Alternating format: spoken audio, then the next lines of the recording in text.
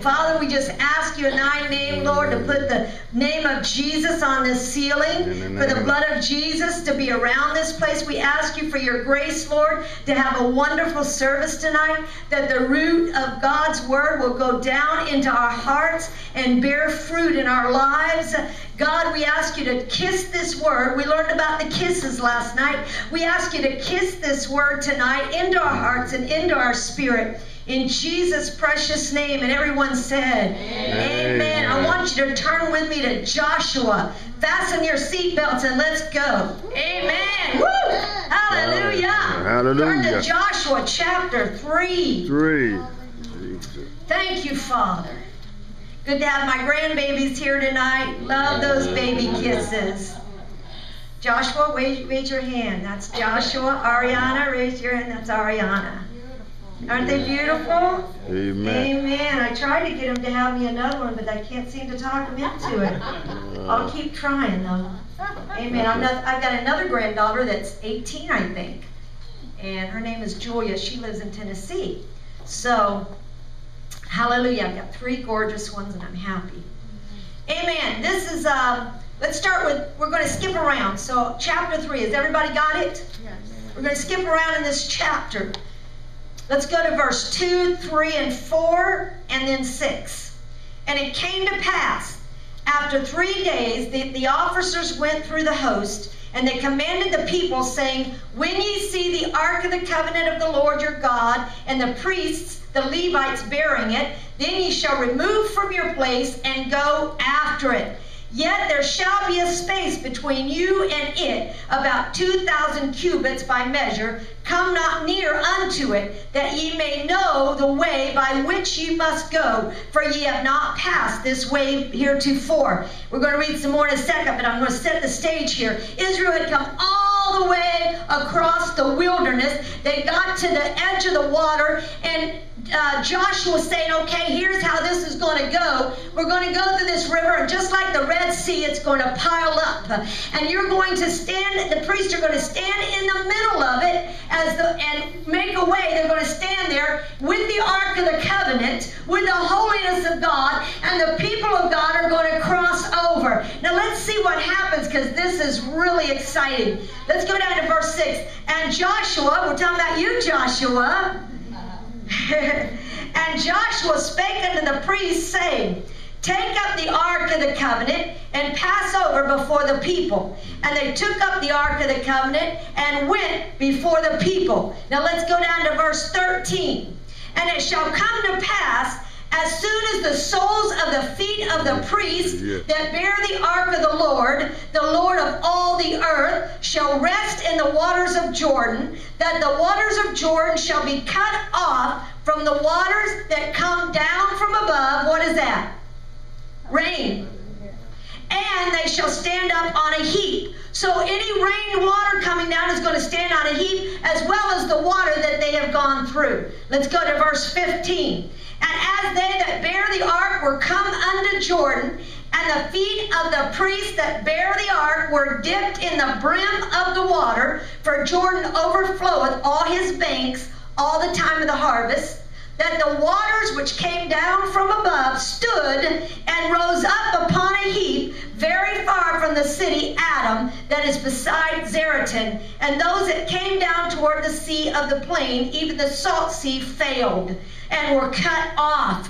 And the people passed over right against Jericho, and the priests that bear the ark of the covenant of the Lord stood firm on dry ground in the midst of the Jordan. And all the Israelites passed over on dry ground until all the people were passed clean over Jordan. Let's go down to chapter 4, verse 3 and command ye them, saying, Take you hence out of the midst of the Jordan, out of the place where the priest's feet stood firm, twelve stones. How many? Twelve. And ye shall carry them over with you and leave them in the lodging place where ye shall lodge this night. Go down to verse 8.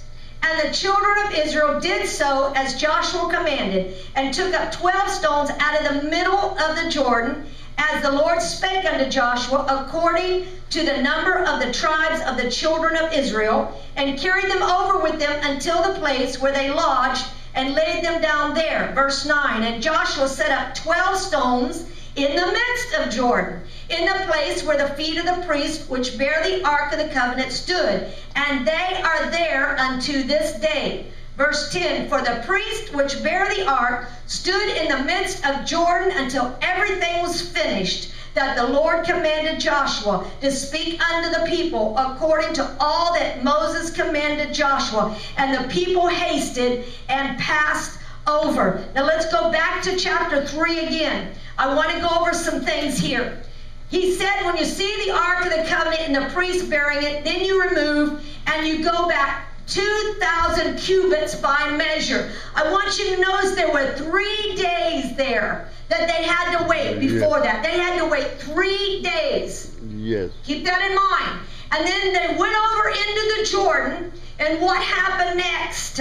He said very clearly that when you see the Ark of the Covenant and the priest, then you remove, and 2,000 cubits by measure.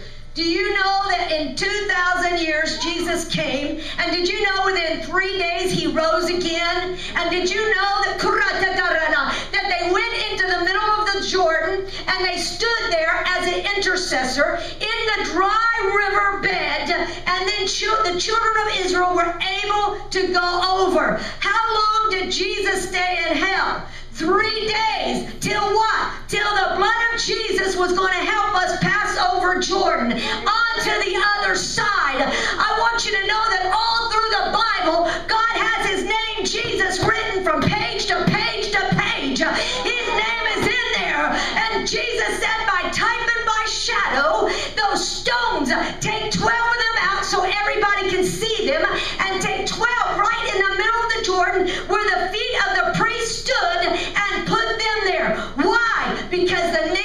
Jesus was going down into the Jordan. I said the name of Jesus was going down into the Jordan. Now hang on. Amen. Amen. So here they go. Glory to God. They don't know what they're doing by type and shadow. That's why I tell you when you're praying, you don't always knew, know what you're doing by type and shadow. You may be swinging your arms. You may be uh, playing the viola. Hallelujah. You might be doing all kinds of things when you're in intercession and travail and you don't understand it. But I want you to know that the Holy Spirit has a plan, a type, and a shadow for everything that's done. And so Israel had to wait till the way was made before they could cross over. Now, many times we know Jordan represents what? Death. Many times they go, they talk about going over the river Jordan.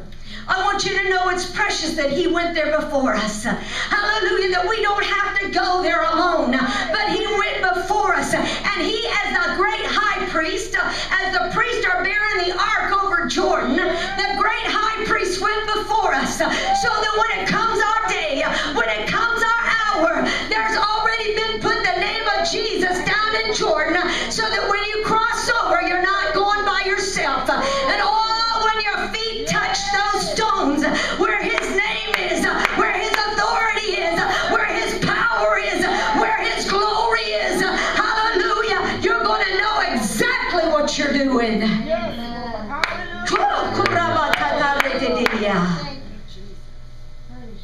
Now let's fast forward. One day John the Baptist was standing in the Jordan. Sure knew where I was going. Hallelujah. And what happened? He was standing there baptizing people. And suddenly, you know, it was just like any ordinary day for John. He was out there every day baptizing, dunking them under and pulling them back up. Amen. Washing their sins away, getting them to repent, for the kingdom of God was at hand. But one day it changed. John stood there and he was waiting on something. You see, what we're doing is we're waiting on something. We're waiting on God to go before us. We're waiting on the Jordan River to part for us. We're waiting for God to say, Come on, let's get those stones and let's put our feet where His name is uh, and let's take it up. So John was standing there on the banks of the Jordan just like any other time. I tell you, church, one day we're going to be doing what we have to do every day. We're going to be doing the dishes or we're going to be sitting in church, or we're going to be doing something when all of a sudden we're going to look up and we're going to see the Lamb of God that takes away the sins of the world. And our day is going to change.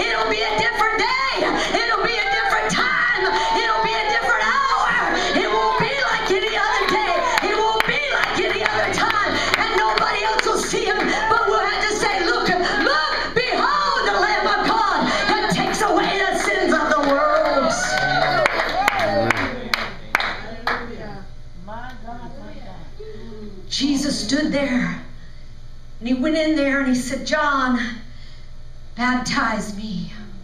Well, you know what baptize, baptizing it represents? Death. Yes. What does Jordan represent? Death. Death. And John says, I can't baptize you. I'm not worthy to baptize you. I can't baptize you. See, John knew it meant death. He knew it meant death. Would you want to baptize Jesus? I wouldn't either. I wouldn't want to say, all right, you're going down in death. But he looked at him and he said, let me tell you something. It behooves us to fulfill all righteousness, mm-hmm. John.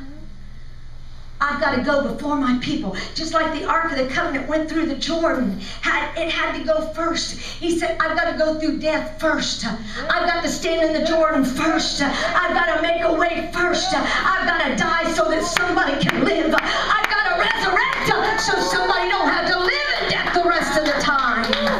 Glory to your name. And so there he went. But you know what else he did in the Jordan? He picked up the name. Because when Israel went over and they carried the ark across and they had the 12 stones in the water, it was laying a foundation for the name. See, the New Jerusalem has 12. Come on. How many things are 12? Jesus was laying down the name. But you know what? When he went in the Jordan, he said, John, baptize me. He went down in death. He picked back up the name and he brought it out of death as a symbol, as an illustration that I'm going down, but don't you worry because I'm coming back up. Oh, somebody praise him tonight. Glory to God.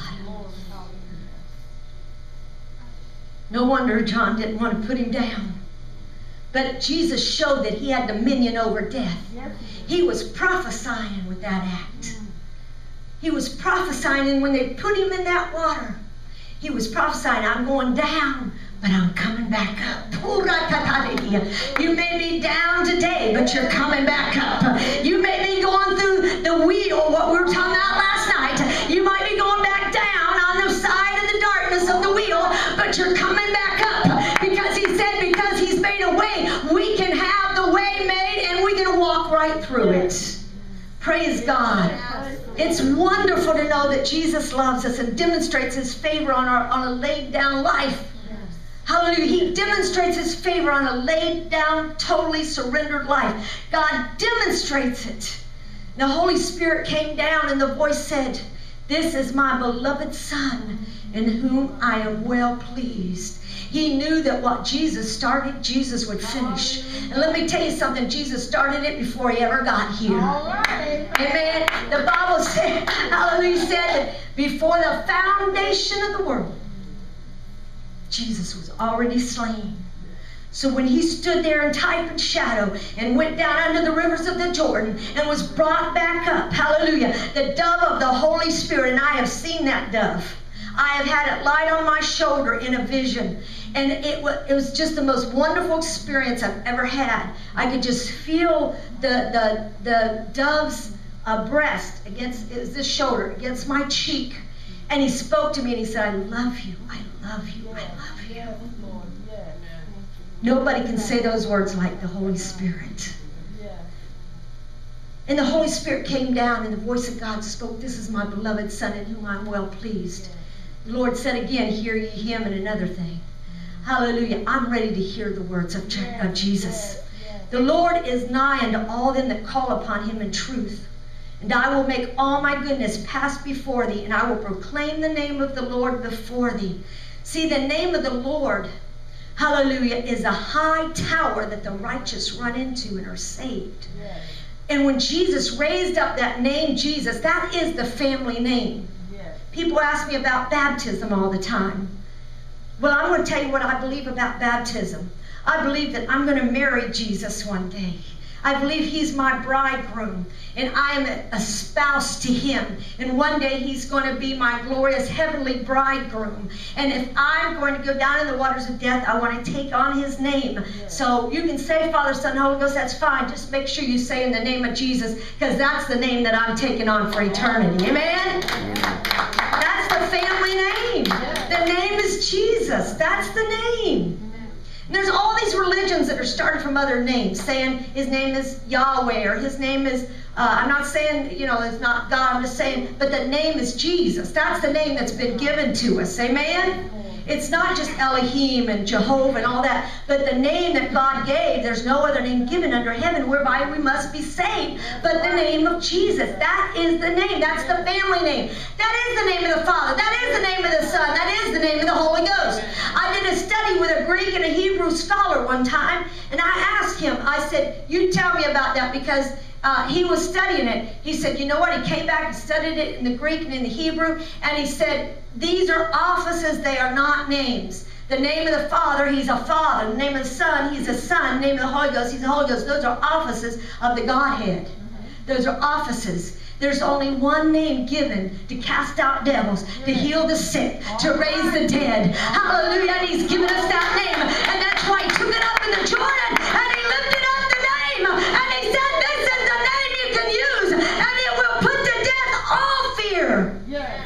Hallelujah. Yes, yes. Amen. Thank you, Lord. Now, we want to talk about the power that that name gives us. We want to go back to the cross. And I want to talk about that because something happened on the cross that sometimes we don't take note of.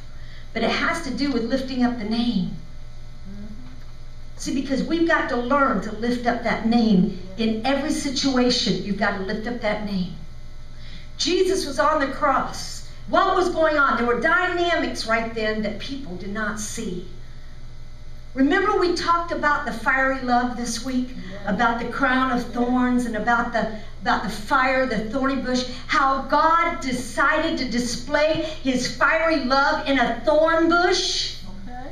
and how just just in case you weren't here, how when God's love and deliverance was ready to come on the scene and deliver Israel, that fire fell on that thorny bush and it caught on fire, and Moses turned aside to go see it. And he said, I've got to see this thing. What's going on? That was God's fiery delivering love lighting on the thorn bush. And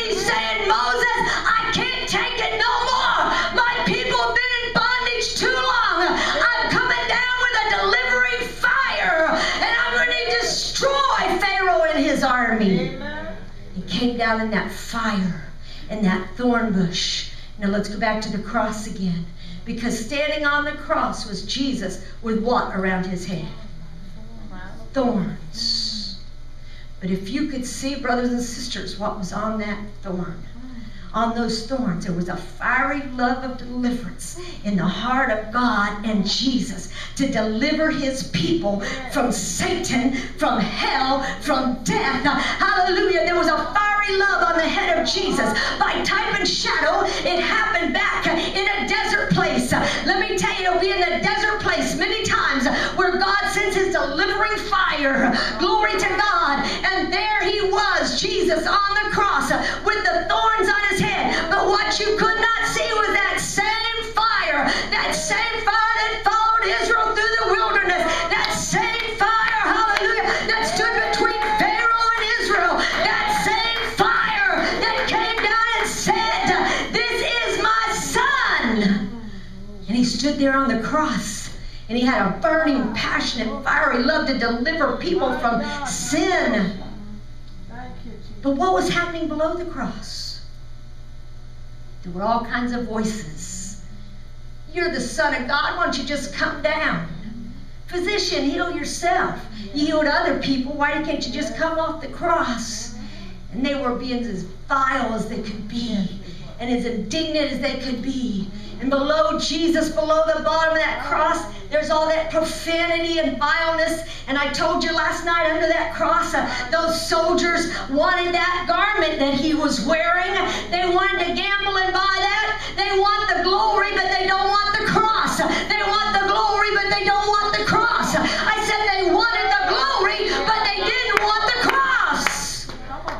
So Jesus stood there, and all this is going down below him. Let me tell you something. During your crucifixion hour, when someone you love has died, or when somebody uh, that's close to you has turned their back on you, or something has happened, and you're standing there on that crucifixion, and you're saying, Lord, I belong to you. I don't know how you're going to do it. I don't know how I'm going to get through this.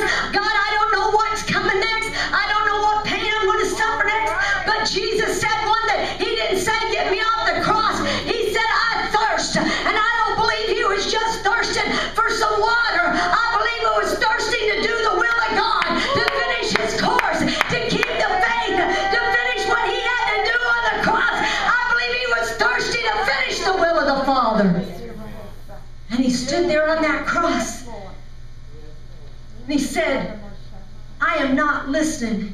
what they're saying down there. I'm to I'm going to work in love.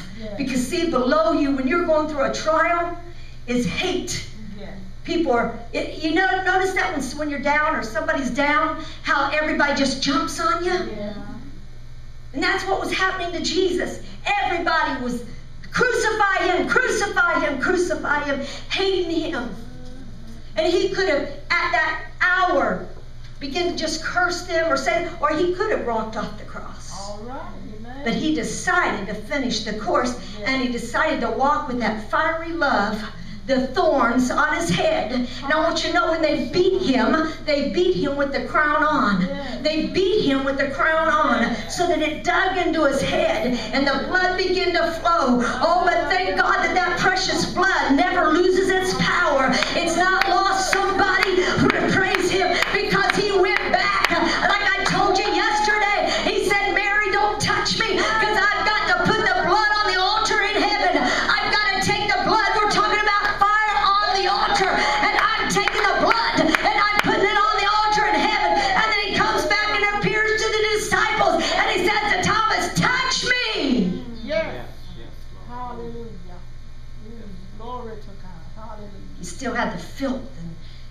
of hell on him because he stood there and he took on our sins while they were hating him and while he was forgiving them. They were hating him while he was forgiving them. Yes. And he chose love above instead of hate below.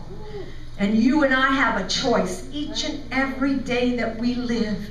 There's going to be somebody in your face, somebody trying to destroy you, somebody trying to put down your name and your reputation. There's constantly going to be warfare, and you have a choice and a decision to make. Either you're going to say, This person needs deliverance, and begin to travail with that fiery love on your head and say, God, please bring them to the cross, or you're going to give in and you're going to come down Because, see, for Jesus to get down there to that degrading place, he would have had to come off the cross and not finish his job. He had to stay on the cross with that fiery love and finish the job that he started. But you and I, we get off of that cross. We don't want to be tied to that thing. We don't want to go down into the waters of his name, death, and, and all those things. We don't want to be purified and cleansed. We want everything quick and easy, comfortable and convenient. I want you to know this life and this walk is not comfortable and it's not convenient. It's a hard way. But you've got to make up your mind you're going to stay up there with Jesus and have a fiery love because he's going to take up his name. He, they laid it down in Jordan. He picked it up in Jordan. He went through Jordan through death and he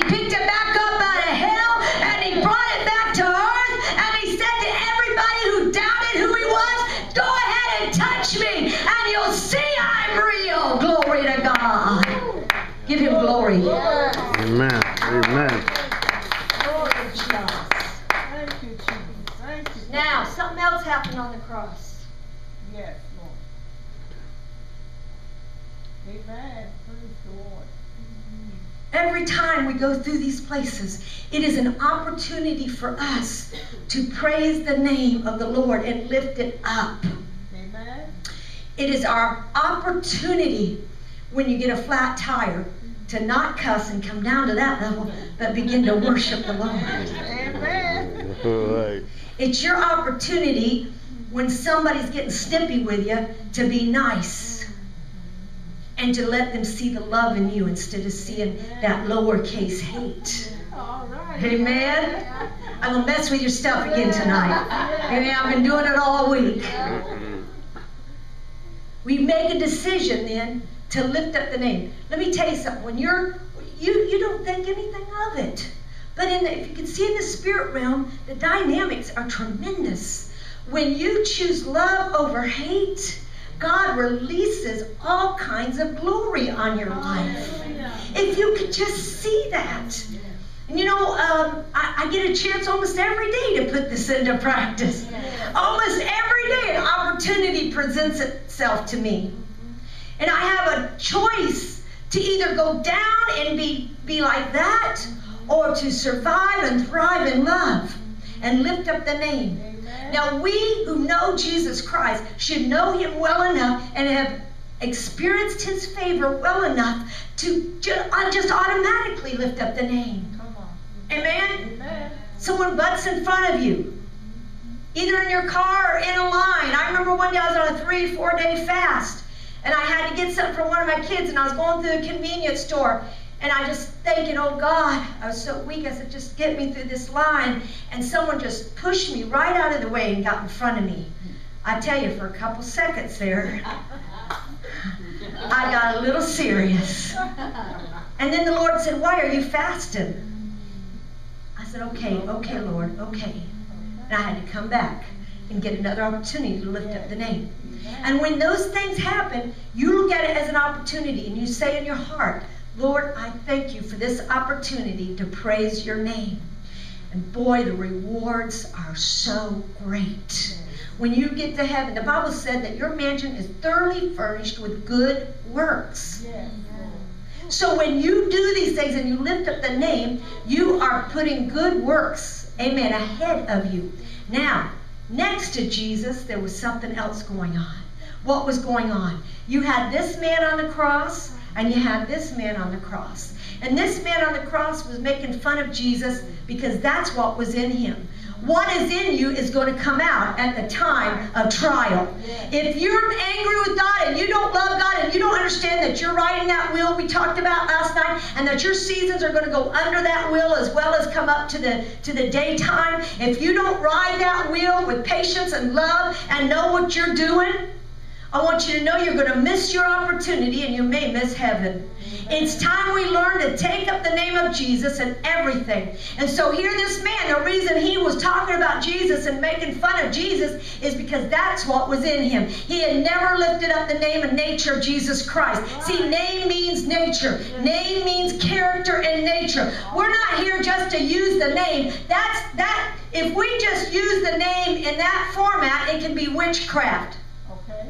You've got to use the name in spirit and in truth. Listen to what I'm telling you.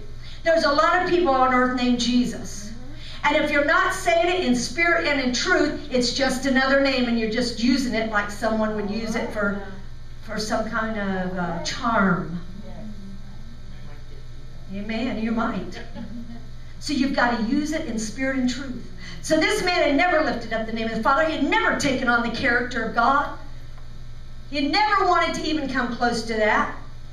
And on the other side, this man does a phenomenal thing. He begins to lift up the name.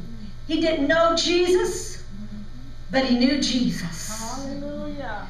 He learned something standing on that cross on the other side of Jesus. He learned what the true nature of love was. He noticed that Jesus was not cussing and fussing, but was saying, Father, forgive them. They know not what they do. He was interceding for them. And this man said, I don't understand how he can do this, but there's something there I don't have a hold of. And this man over here starts talking about him. And this man says, What's the matter with you? He said, We deserve what we're getting. He. We have never lifted up the name. We have never done right. We have never taken on the character of God. We deserve what we're getting. We're getting what we deserve. You need to back off. Don't you even fear God? Don't you even fear God? And then, coming to the end of his life, he turns to Jesus and he says, Will you remember me? This was his last bit of hope. He had lived a rotten, terrible life. He had either been a thief or a murderer. But at that moment, something was quickened in him. When he stood next to the King of Kings and the Lord of Lords, there was something about the name and the nature of the man that he was standing next to that changed his life. And he stood there and he said, Will you remember me when you come into your kingdom? I recognize there's something in your nature that I've never had. I understand there's something in you I've never possessed. Will you remember me? And here this ungodly man was lifting up the name that daily we cast down. We do. Every time you give in to temptation, you cast the name down. Every time you resist, you lift it up. You become one with his name and with his nature. And Jesus stood there and he was amazed. He looked at that man and he says, I tell you today, Today. you'll be with me in paradise. Today, you've taken on my nature. You've taken on my name and you've changed your life. I tell you, church, this is what stands before you a choice and an opportunity. If Jesus prophetically, they put down his name in the Jordan, he took it up in the Jordan. He went to hell for you and I. And he took it up and he's saying to Mary, Don't touch me yet t- till I put the blood on the altar. And he comes back and he says, Now you can touch me. Now you can touch me. He's not a God that cannot be touched with a feeling of your infirmity. But we need to learn to lift him up. And if we start lifting him up, God is going to come in and step into the Jordan with you. And he said he would not allow the priest to go to the other side till everyone had passed over. And I want you to know tonight that there are names that are written in the Lamb's book of life. And God knows who you are. And there's names that are being blotted out of the Lamb's book of life. See, I believe that all the names were there to begin with, but people, as they make final decisions to step out of the kingdom, their name is blotted out. So their name was there, but then it's not anymore. And he'll say, Sorry, I never knew you. And each and every day, you have a chance and a choice to make. And you can lift up that name and take on his nature. See, it's about having his nature. It's about not just being a Christian by name, but being transformed by the renewing of your mind and taking on his nature. So I'm going to end with that tonight because Sunday morning I may take up, and I'm not sure, you be in prayer, uh, demonic gangs. I may take up the subject of demonic gangs because I want you to see what happens when you don't take on the nature of Christ and how these spirits run in gangs. And when one opens the door, they all come in. So we may study on that. But you've got a new understanding tonight of the name. Amen? You've got a new understanding of taking of the name. Hallelujah. Hallelujah. Praise God. So we're just so happy tonight.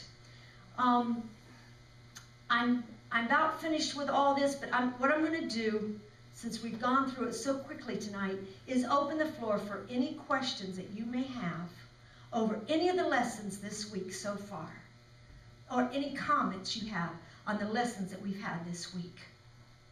Amen. Praise God.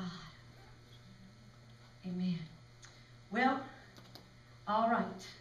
Let's say a prayer over the word, and let's ask God to Yes. change our nature.